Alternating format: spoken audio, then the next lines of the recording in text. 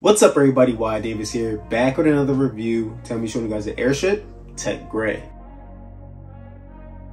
Alright guys, now these officially dropped today at boutiques. These didn't come out on the SNKRS app and I haven't seen this shoe come out on Foot Locker or anything like that. Now this shoe did come out a few weeks ago and I reviewed it for you guys. In my opinion, this shoe is in my top 10, maybe even in my top five of the year. Now this one is a special edition. As you guys see on the back, it says every game because he has some lucky garments that he wore every game.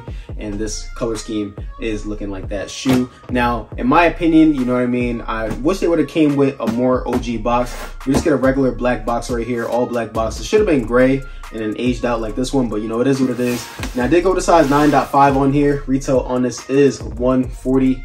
Yes, that's right, 140 bucks, guys, believe it or not. Open up the top of the box, we do get a stamp on the inside of the box.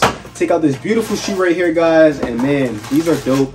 I mean, I still like this one a little bit better. You know, they are pretty much identical, but this one has that aged out effect. You know what I mean? The aged out midsole make you feel like you're getting something back from you know, the late 80s, early 90s. Out of the box here, we still do get this little booklet here. I'll show you guys every page. So, you know, if you guys want to pause it to read it, you guys can do that.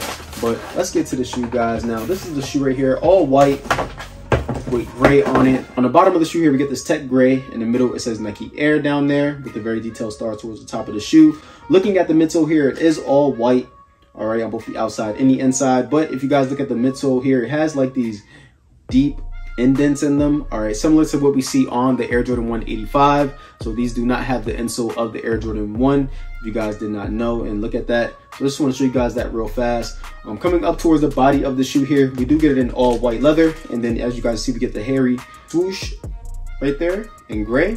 Also, we do see that gray on the ankle lining, all right, all the way around the shoe. Pretty dope in my opinion, okay? What do you guys think about these? A copper drop for you guys. It seems like, you know, they are starting to push these colors out a lot more. You guys can find these for a very reasonable price on StockX. And I feel like, you know, if Nike and Jordan Brand continue to make the shoes like this at this price with this technology, you know what I mean? This is a high contender for something to be like the Roshe Run, like it was back in the early 2010 era. Same thing on the inside of the shoe. I don't see a lot of stitching errors on my pair, but, uh, you know, let me know how your pairs look when you do get them in. If you guys have had the chance to get these off the aftermarket or for retail. The best part about this shoe that I love is right here. If you guys look at the bottom of the tongue, we get this elastic band tongue. And this is for wide footers or if you have you know problems with shoes squeezing on your feet this will help out a lot because it gives the shoe a lot of breathability and helps the shoe open up wide so with air jordan 1s and especially air jordan 185s you know the cut feels like it is tight around that area and you know if you go up half a size some people don't like that, you know, feel of it being loose towards the back of the shoe. But I feel like, you know, this helps the shoe out a lot. So Jordan brand, this is what we want. The lower prices, you know, the flexibility in the toe box. You know what I mean? This is what it's all about right now. Comfort. Everybody wants to be comfortable. Nobody wants to just have style anymore. Want the best of both worlds. You know what I mean? So looking at the toe box here, we do get this white on the toe box. Pushing down on it, you can see that it will crease up pretty easily. If you guys use my code of Y Davis, you can get five bucks off your order from Crease Beast Protection. Looking at the mudguard here, it is white on the mudguard. We see the gray creeping up from the bottom of the shoe just a little bit. Now we do get two sets of laces on these. They come standard with the white laces, but then we get tech gray laces as well in a plastic bag. With that being said, I kind of do like the way the white laces look in it, but you know, you guys can pick your poison on which laces you want to put inside. Looking at the tongue here, we do get an aged out tongue, similar to how we see on that Air Jordan 185s that recently came out, specifically the Georgetown okay? Now the tongue does stand up a little bit like the air jordan 585s it is a little bit taller and a little bit you know more longer in my opinion.